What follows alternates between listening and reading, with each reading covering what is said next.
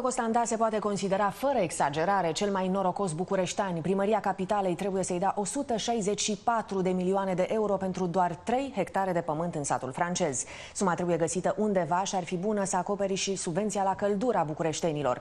Decizia Tribunalului București poate fi atacată cu recurs.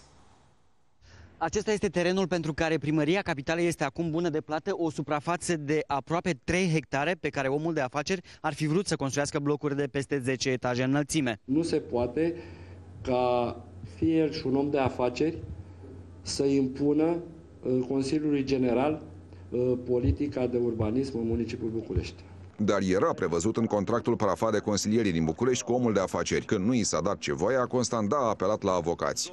În primul rând trebuie să spunem că acel protocol încheiat cu domnul Videanu nu avea un termen limită de aprobare. Deci, practic, acel pus putea fi aprobat și mâine. În uh, Consiliul General de acum nu s-a reușit pentru că trebuie două treimi pentru aprobarea unor astfel de chestiuni. De ce cei doi lideri politici, și mă refer la domnul Vanghele și la domnul Siliman, nu și-au lăsat grupurile de consilieri să participe? În, în înțelegere înțelegerea care a fost între Primăria Capitalei și uh, domnul Costanda, Partidul Național Liberal nu a fost parte a acestei înțelegeri. Cert este că discuțiile au venit cam târziu. Primăria Capitalei trebuie să găsească 164 de milioane de euro, adică 20% din întreg bugetul Bucureștiului pentru 2010 și să-i dea banii lui Costică Constanda. În schimb, primește înapoi satul francez de la care a pornit în urmă cu 8 ani întreg scandalul. Adrian are